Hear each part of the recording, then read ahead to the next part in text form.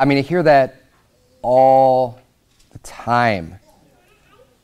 And it makes me want to bang my head against a wall or against the Bible, going, why don't you just read and use some reason? Look at Leviticus 24, verse 17. I mean, I already brought up the fact that God destroyed Sodom and Gomorrah. Well, if the law is only for Israel, it didn't do them very much good. Verse 17, And he that killeth any man shall surely be put to death.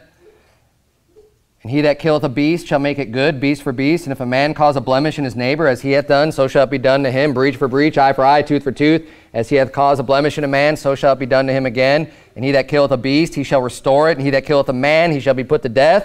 Look at verse 22. So these are all things that are just power of the law that just makes sense and that that's God's judgment on them. And this is this all righteous judgments for all of these things. Look at verse 22 though. You shall have one manner of law, as well for the stranger as for one of your own country, for I am the Lord your God.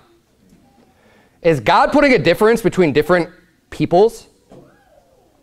Well, you're an Israelite, so this is going to be your law, but you're a Moabite that came here, so you're going to have your own different law because this was only for Israel.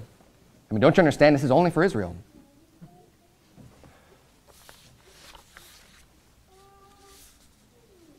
Why was there only one law for the people of Israel and there's strangers there or born in the land? That didn't matter to God. Hey, there's one manner of law. Why would someone who joined themselves unto Israel be under that law? Let's say someone moves from another country. Well, that's only for Israel. No, there's one manner of law. It wasn't a good law for them when they lived somewhere else. Oh, yeah, that law was no good for you when you lived there, but now you're moving here, so now it's a good law for you. And I'm talking about in God's eyes, right? Obviously, when you move, you could be under different jurisdictions of who's making the laws and, and who's enforcing laws. But we're talking about right and wrong here because that's what the law does.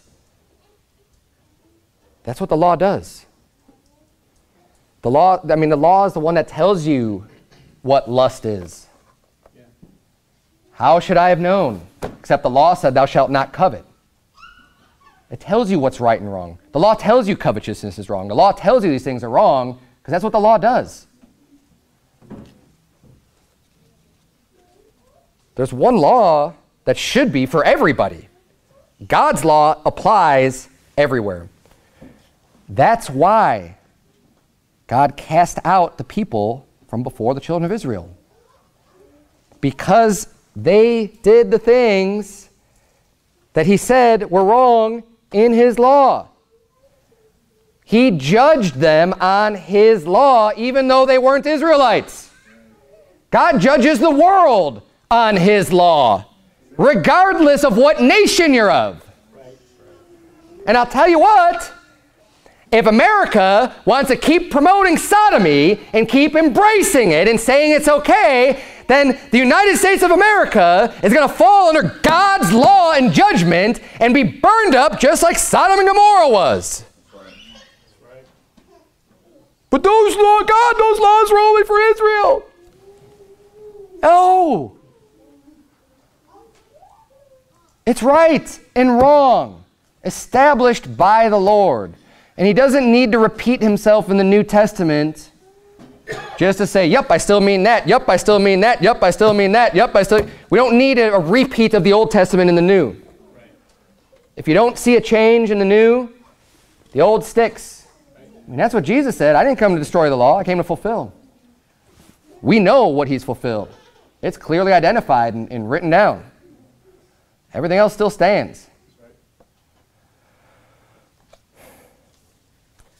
Just for Israel. Give me that garbage.